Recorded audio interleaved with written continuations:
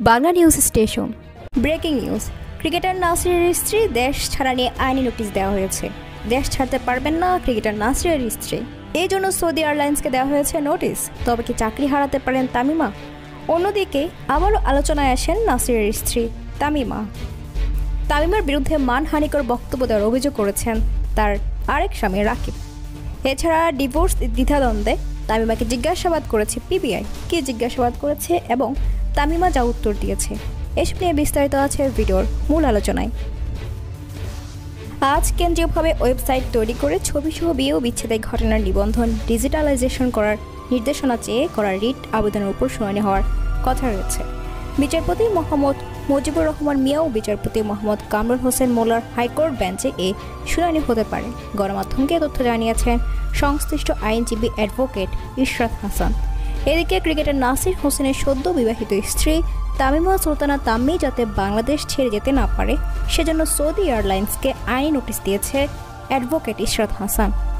তামিমা সুলতানার বিরুদ্ধে আদালতে করা মামলার বিচার সম্পন্ন না হওয়া পর্যন্ত চাকরির সুবাদে যাতে দেশ ত্যাগ করতে না পারেন, সেজন্য সৌদি এয়ারলাইন্স কর্তৃপক্ষকে পদক্ষেপ নিতে বলা হয়েছে। ক্রিকেটার নাসির হোসেনের সদ্য বিবাহিত স্ত্রী সৌদি এয়ারলাইন্সের কেবিন ক্রু তামিমা সুলতানা তামির সাবেক স্বামী রাকিব হাসান সহ তিন ব্যক্তি ও এইট ফর মেন ফাউন্ডেশনের পক্ষ থেকে প্রতিষ্ঠানটির সেক্রেটারি সাইফুল ইসলাম নাদিমের পক্ষে অ্যাডভোকেট ইশরাত হাসান গত চারই মার্চ হাইকোর্টের সংশ্লিষ্ট শাখায় এ রিট আবেদন দাখিল করেন। রিট আবেদনে আইন মন্ত্রণালয়ের দুই সচিব, তথ্য ও যোগাযোগ প্রযুক্তি সচিব, ধর্ম সচিব এবং বিআরটিসি চেয়ারম্যানকে বিবাদী করা হয়েছে। বিয়ে ও বিচ্ছেদের ঘটনা নিবন্ধন ডিজিটালাইজেশন করার জন্য গত বাইশে ফেব্রুয়ারি সংশ্লিষ্টদের প্রতি আইনি নোটিশ দেওয়ার পরও পদক্ষেপ না নেওয়ায় এই রিট আবেদন করা হয়। সোমবার রিট আবেদনটি বিচারপতি মোহাম্মদ মুজিবুর রহমান মিয়ার নেতৃত্বাধীন হাইকোর্ট বেঞ্চের কার্যতালিকায় ছিল। কিন্তু নির্ধারিত দিনে শুনানি হয়নি। তাই আজ শুনানি হতে পারে বলে জানিয়েছেন আইনজীবী। অন্যদিকে আবারও আলোচনায় ক্রিকেটার নাসরের নববিবাহিত স্ত্রী তামিমা। রবিবার রাতে তামিমার বিরুদ্ধে থানায় অভিযোগ দাখিল করেছেন সাবেক স্বামী রাকি এতে তামিমার বিরুদ্ধে মানহানিকর বক্তব্য দেওয়ার অভিযোগ করেছেন তিনি। একুশে মার্চ রাতে উত্তরা পশ্চিম থানায় ডিজিটাল নিরাপত্তা আইনে অভিযোগ দায়ের করেন রাকিব।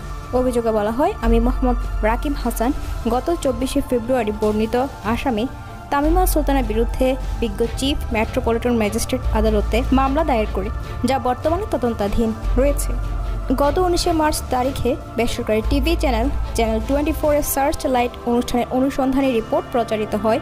সেখানে বলা হয়, যেখানে আসামি সাক্ষাৎকার প্রদান করে, উক্ত সাক্ষাৎকারে আসামি আমার সম্পর্কে অত্যন্ত আপত্তিকর এবং ন্যাক্কারজনক ও মানহানিকর বক্তব্য দিয়েছেন। ওনার শিক্ষাগত যোগ্যতা অনেক কম। সে একজন সাইকিক ও নিজেও হাতের মধ্যে এখানে তাবিজ পরে, গলায় তাবিজ পরে। হ্যাঁ এক এক জায়গায় তাবিজ পরে, আধ্যাত্মিক টাইপের কথাবার্তা বলে। ওকে মেডিকেলে পাঠানো হোক। ও মেন্টালিভাবে সাইকো তুবামণি রাকিবের জন্য একটা এটিএম কার্ড অভিযোগে আরও বলা হয়, অনুষ্ঠানটি বিভিন্ন সোশ্যাল মিডিয়ায় ভাইরাল হয়। আসামি ইলেকট্রনিক মিডিয়ায় আমার বিরুদ্ধে মানহানিকর ও আক্রমণাত্মক বক্তব্য প্রকাশ করে। এছাড়াও আসামি আমার ধর্মীয় মূল্যবোধে আঘাত দিয়ে কথা বলেছে এবং আমার আর আমার শিশুকন্যা তুবায়ের পিতাকন্যা সম্পর্ককে অপমান করে বক্তব্য দিয়েছেন, যা আমাকেও আমার পরিবারকে সহজে হেয় প্রতিপন্ন করেছে এবং আমাদের অপূরণীয় ক্ষতি হয়েছে।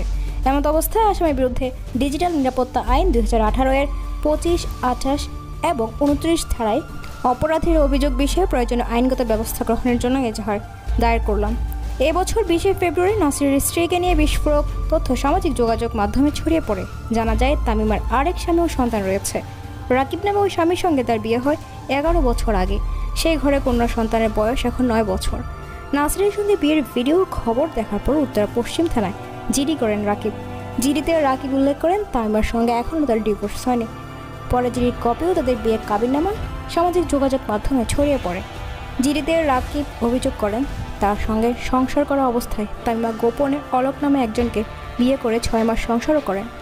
গত চোদ্দোই ফেব্রুয়ারি তামিমাকে বিয়ে করেন ক্রিকেটার নাসির হোসেন। বিয়েকে স্মরণীয় করতে ভালোবাসা দিবসটি বেছে নিয়েছিলেন তিনি।